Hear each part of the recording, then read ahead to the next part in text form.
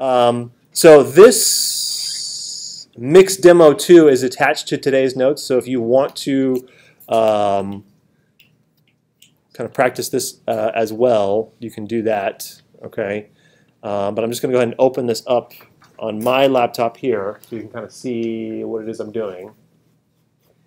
Okay. Bless you. Yep. Uh, some I don't need it. So if you get these detailed reports, basically, you don't have to. I basically Pro Tools is just kind of warning you that something changed with your hardware setup. Okay, you don't necessarily need a detailed report, so you can just hit no on those. Okay. Um, so first things first. Uh, if you if you watch the video, what's one thing I need to fix over here? Anybody see it right from the get-go? Naming, yeah, naming my tracks, okay? Uh, I can simply double click, it brings open a window. I can give it a name. So this is my uh, voice, uh, or I could just say, or I could say narration, something like that. You do also have quite a bit of room for comments, um, and I've seen different engineers do different things with this. Some people will actually make notes about what microphone was used uh, and the different setup that was used for actually making the recording. But know that you can keep some extra notes here as well, okay? Uh, once you open up one, Pro Tools gives you this next and previous, so I can actually hit next and go to the next track and give that a name. Uh, this is my, let me see, is this my Windy Park? Yes, this is my Windy Park recording. And then my next one is telephone. Okay, uh, hit OK. Zoom out. Yeah, so now you see how I've got some good, solid, descriptive names here, okay? Um, okay, so the one thing that he did in the recording, in the, the video, was actually use the master track to monitor the levels overall, and we didn't really talk about that. Um, the, the thing that I would recommend you do is if you go to the mix window and find your master track, you can in the multi-channel plugin, let's see, there's insert, dynamics, and this maxim track, which actually gives you what's called a limiter. I don't, I'm going to kind of gloss over what a limiter does, basically. But this, this plugin I found has the best level meter for kind of watching your levels between input and, and output uh, if you do any processing here. So if I play this now, see how I'm getting uh, levels. I, I, can see I'm peaking at around negative 12 here, uh, negative 12 dB. Okay. We haven't really talked about that, but in uh, digital audio situations, it's it's measured as 0 dB being the top, and everything that's below is a certain negative dB value below the maximum. Okay. Awesome. Overload buffer. I love it when that happens. Okay. Uh, it's probably because I have the ScreenFlow set up going at the same time that I have uh, Pro Tools playing.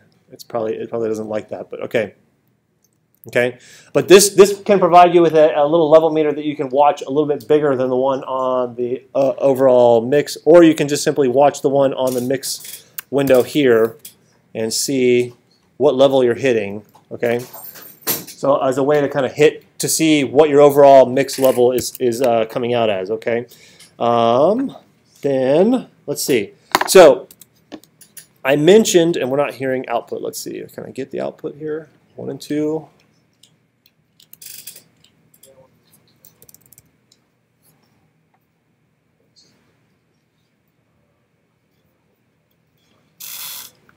Okay, this is up all the way and I'm barely hearing it. Why is that? Okay. Not sure why it's so soft. So apologies for... So today I want to do a quick demo just to um, some, some Okay, so if I solo this first track, what you're going to find is when I start to... So today I want to do a quick demo just Fast forward here. I get to this point in the project. First let's look at a Okay, so I was talking here at the beginning, and then I go quiet while this other sound plays. I was just basically listening to this in my office and just counting the time until I wanted to kind of record demo again. But what happens is I've now got an open mic here with background noise just kind of collecting the ambience in my office at this point, okay? This is going to add to the overall noise level in my project, okay? And so the best thing you can do is actually cut out that silent recording, if you will, okay? And actually put true silence on the, the track. So the easiest way to do that is with the selector tool. Okay, you can switch to the selector tool and you can click and drag and I can delete, okay?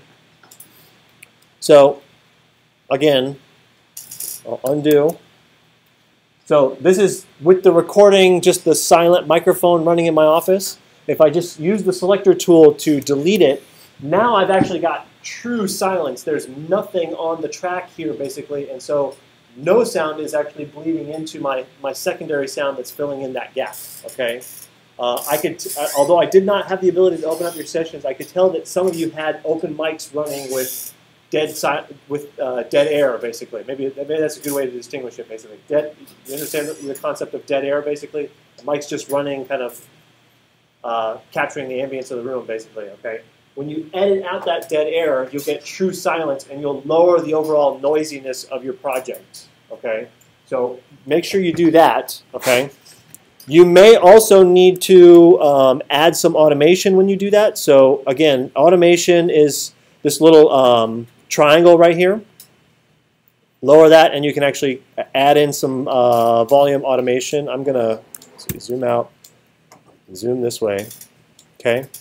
Uh, go back to my grabber tool and I can click, click, click and lower this so that it fades out. windy recording. Okay. I really wish this was louder because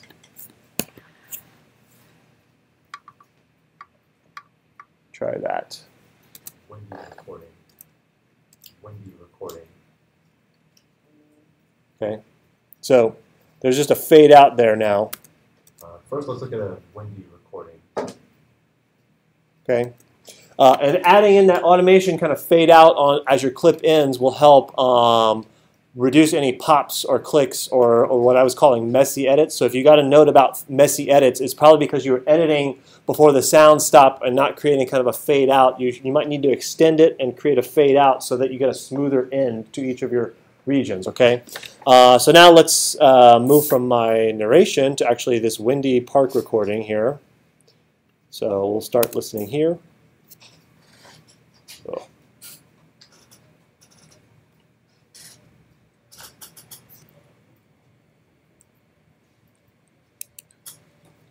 I go over to the mix window, I can actually raise this. You hear that rumble, especially right there. Right? That's like wind in the microphone as I'm walking around with it, okay? Yes? Okay. And some of you had this problem all the way back to uh, Project One, and I just kind of threw the EQ on and fixed it for you. Yes, I think it was like Kira. I think you had this like wit, like boomy windiness in one of your recordings, if I remember correctly. You know what I'm talking about, or no? Am I misremembering your Project One? Okay. um, so what I want you to do for this project, I want you to start to get uh, all of you to kind of get competent about this and be able to uh, remove this windy recording yourself. Okay. The inserts on your mix window allow you to add in processing, add in some sort of effect on your sound file. Okay. Uh, and the, the, the, processing that you uh, are, should be interested in nine times out of ten is some sort of EQ. Okay. Um, I'm going to go in and I'm going to create a, uh, a one band EQ for this because I want to do something very simple. Okay, and let me zoom in on this re real quick.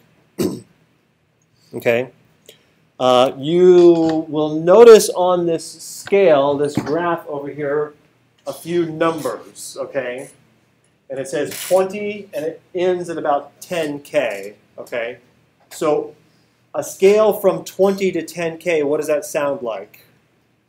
what unit of measurement related to sound would, would be on that scale of 20 to 10K, or dare I say 20 to 20K? Hertz. Hertz, yes, okay. So this is frequency on the x-axis, and then this is gain on the y-axis, okay?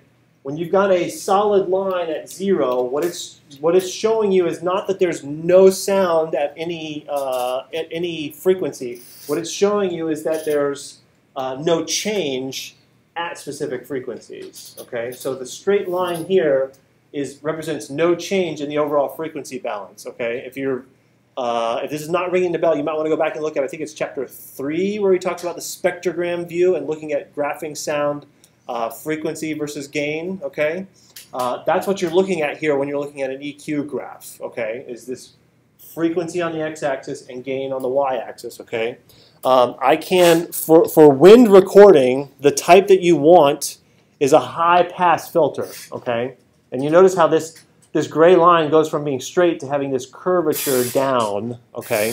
What it's showing you is that above a certain level, it's going to be no change, that straight line at zero. But then as it's curving down, it's lowering these frequencies so that they're not getting through your recording, okay? It's dampening those frequencies, it's lowering them, okay?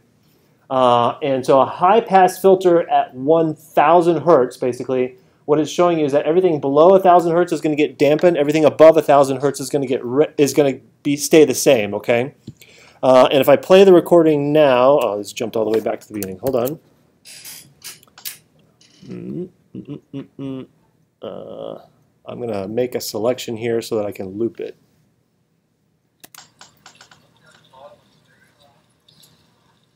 Yeah, I, I definitely don't hear any uh, wind at this point. I don't hear much of anything at this point, though. That's the problem.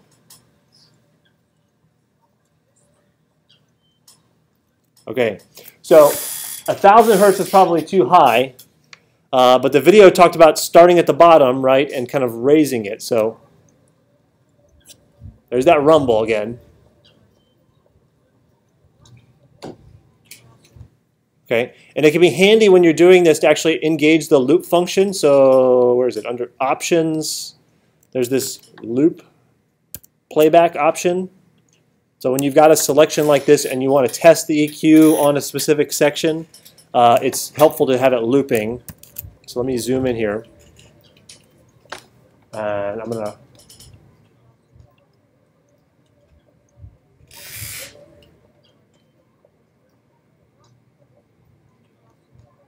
can also raise this. Let's see let me. Yeah.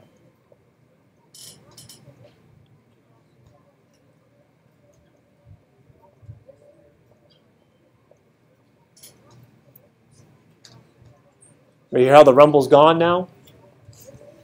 So if I bypass, again, bypass, when you're starting to work on these effects, bypass is your friend because bypass overrides the processing and lets you hear the original. So there's the low rumble. And I click it on, and it goes away, okay? Because what I've done here is I've said, okay, I want no change up until about 100 hertz, and then I want you to dampen those frequencies, those low rumbles. I want them dampened. I want them less, okay? That's what this one band EQ can let you do.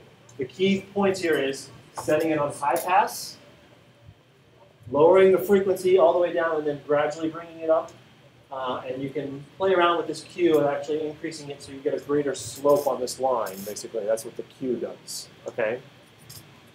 Are you clear on that? Okay? So if you've got a, a, a recording with uh, low rumble, that's one way, to, that's, that's a way that you can fix it, okay? Um, how am I doing on time? Whoa, okay. Uh, let's see, zoom back out. Okay. So uh, once again, I have some dead air. So let me click here and play. Ah, I need to unsolo.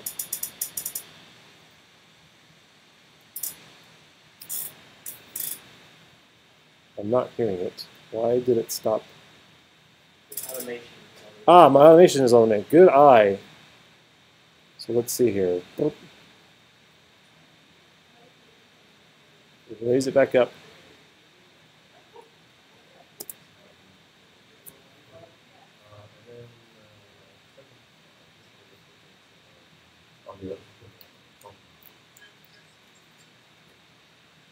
Okay, so I've got this transition into me talking about the phone.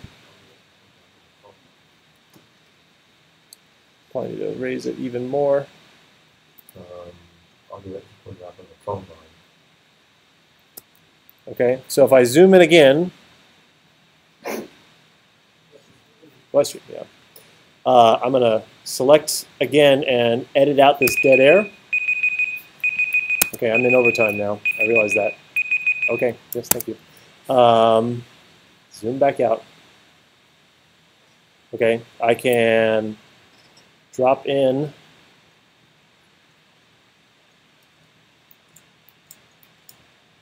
Fade out here. Audio that you put out on the phone line. Okay, and I'm going to drag back my phone audio. Uh, so this was the other thing that they talked about was actually recording off of the phone and the fact that you needed to kind of shave off the, the upper and lower frequencies, okay, using a multi-band EQ. Um, so this is a recording of a text. Press 1. To save it, press 2. Anybody remember To voicemails? it, Press 3. To forward it, press 5. To mark it new, press 6. Um, and if you're wondering how to record phone messages, there actually are a number of apps for recording phone conversations that you can actually have running in the background. Uh, just be aware, I, I, I think I've mentioned uh, Florida being a two-party consent state. Uh, that basically means that if you are going to be recording a phone call, make sure that um, the person on the other end of the line knows that you're recording. Otherwise, you're committing a misdemeanor in the state of Florida. Just letting you know that, okay? Uh, so make sure you your party is aware that you're actually making that recording, okay? So then, if we go to insert, this time instead of a one band EQ, I'm going to insert the seven band EQ, which, uh, as you would expect, has more options. Uh, but in order to replicate what he was doing in the video, uh, you really just need the high pass filter and the low pass filter here, these first two on the plugin, okay? Uh, if you take, let's see, you take these and no, let's see, where's my, ah, I have to turn it on. Okay, so if you venture into seven band EQ land and you're just trying to cut off the high and the low, okay, uh, let's do this, zoom out so you can see the whole thing, okay. So when I first turned it on, these these bands were actually off. So the first thing I'd say to do is turn on these bands and turn off the other ones just to simplify your life. Okay, now we can turn up the slope on these. And anybody remember the frequencies that he talked about for telephone voices? If not, I have it written down. It's okay. Okay, it's uh, 200 hertz. Yes, and 3500. Uh, 3500. Okay. So now if I play my, what now? 3.5 kilohertz is, yeah, 3.5 kilohertz is the same thing as 3,500 hertz. Okay. So if I just do this and play my phone message now, To repeat the message, press 1. To save it, press 2. To delete it, press 3. so To forward bypass. it, press 5. To mark it new, press 6. To skip back, a message.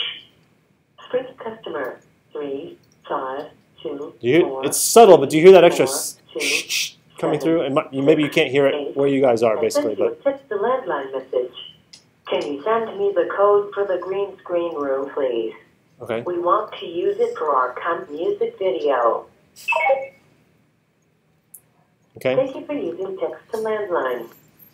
So uh, that's just that's how you would use a multi-band EQ in order to shave off the high and the low frequencies in a recording that has excess noise at the top end and the low end, basically. Okay. Uh, and that's really the three or four things I wanted to show you guys real quick. Okay. Uh, feel free to rewatch this video after I post it online, and you've got a demo session that you can download and practice these things basically.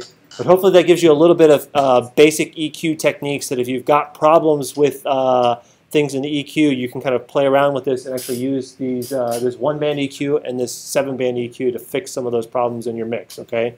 Um, any questions?